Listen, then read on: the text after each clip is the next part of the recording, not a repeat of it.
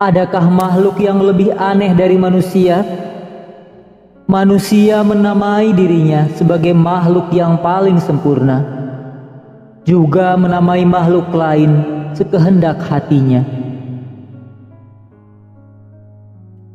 Seolah manusia sajalah yang boleh berkuasa atas segala hal.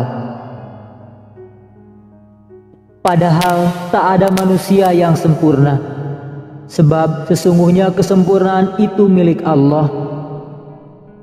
Bukankah manusia pun berada dalam satu ekosistem dengan makhluk-makhluk Allah yang lain? Di mana manusia merupakan bagian dari rantai makanan pada ekosistem. Bagi makhluk lain, manusia hanyalah sebagai santapan yang disediakan alam. Tapi kepada manusia Allah berikan akal dan pikiran sehingga dapat menghindari dan tak menjadi kudapan bagi karnivora di ekosistem. Manusialah yang menjadi penguasa pada ekosistem itu. Bukan karena manusia makhluk paling kuat, melainkan karena akal dan pikiran yang telah dianugerahkan Allah kepada manusia. Manusia itu makhluk bumi yang paling aneh. Seringkali mengejar apa yang mustahil didapatkan. Bahkan waktu yang terus berjalan pun terus dikejar. Dikumpulkan dalam simbol-simbol padahal tak pernah terkumpul. Dan yang tersisa hanyalah sebatas simbol-simbol hitungan. Banyak yang mengejar waktu seolah waktu dapat dihentikan. Tak jarang yang rela membelinya seolah waktu adalah barang. Banyak yang ingin hidup lebih lama tapi berusaha mempercepat waktu. Setiap saat menghitung waktu seolah ia bisa mengumpulkannya. Mengapa tak kau biarkan waktu bergerak dengan semestinya? Cukuplah dengan memaksimalkan usaha sebab waktu tak berulang.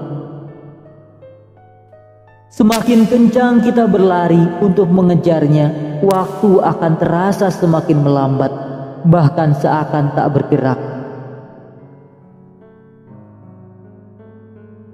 Baik engkau diam maupun kau kejar, waktu tak akan pernah berhenti. Waktu pun tak akan berhenti sekalipun kau berhenti mengejarnya. Biarkan saja waktu bergerak dan berjalan sebagaimana mestinya. Berusahalah sebaik mungkin untuk suatu tujuan agar tak sia-sia.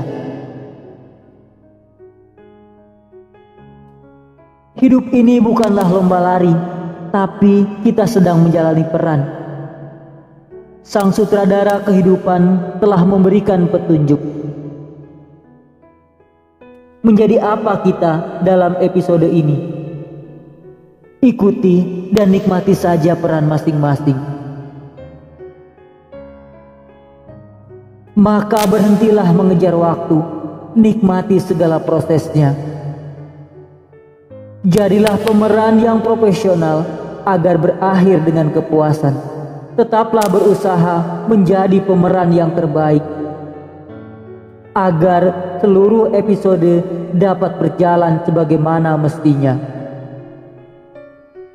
Sesungguhnya dunia ini fana dan akan binasa, sebab segala sesuatu yang diciptakan tak ada yang abadi. Manusia adalah bagian dari episode yang panjang, dan kita tak akan berperan selamanya. Kita berperan sesuai dengan kontrak dengan sang sutradara kontrak paten yang tak pernah bisa dipercepat maupun diperpanjang. Manusia bisa saja menghitung waktu yang telah dilewati, tapi tak akan ada yang dapat mengumpulkannya, kecuali hanya bilangan yang tersisa. Maka berhentilah menjadi jemawa dengan mengejar waktu.